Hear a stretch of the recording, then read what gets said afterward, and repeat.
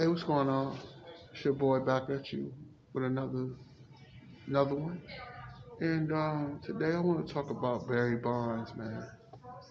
And um, I mean, I was just on Instagram, you know, and I looked at a, a quote, a, po- um, a post that Deion Sanders was talking about how um, how it's ridiculous that Barry Bonds is not in the Hall of Fame. First of all, I want to say this real quick, and I know this this um, video might not be um, what you know what people want to really hear, but let's just keep it real and let's just be clear.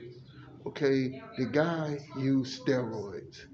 Okay, he should he knew that using those steroids and um, that, that human growth hormone, he knew that was illegal.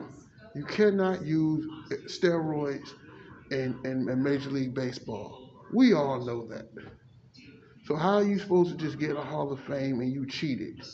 You gave yourself an advantage, and it's and it's against the rules. And I like uh, Barry Bonds. I think he's one of the best baseball players I ever seen in my life. But why should you get um, get get the uh, going to Cooperstown when you you clearly cheated? Fans, you know, let's let's to be honest, you cheated, man. You used okay. Let's just look at look at when he was in Pittsburgh.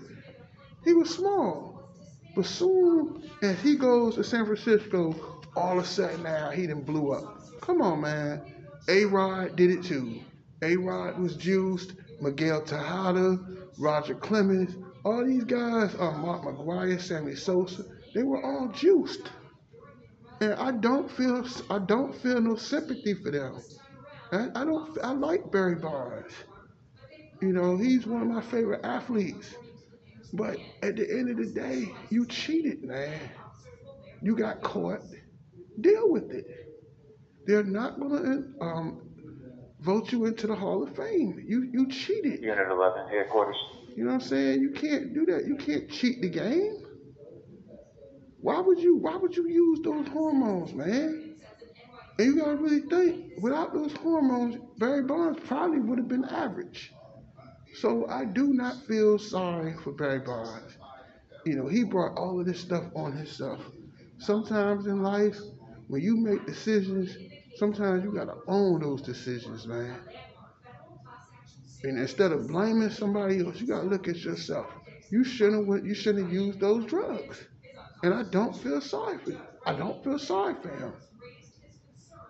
You know, I, I just don't feel sorry for him. I'm, I'm sorry. I know this people people don't want to hear this, but let's just tell the truth. He cheated. He cheated. Those hormones made made him stronger and, and made him hit the ball better. Because without those hormones, without those um, without taking that juice, he probably would have been an average baseball player at best. So you know what I'm saying? I like Barry Bonds, but he gonna have to accept what he did. What he did was wrong. It was against the, the, the rules to use steroids. But that's it. That's all, deuces.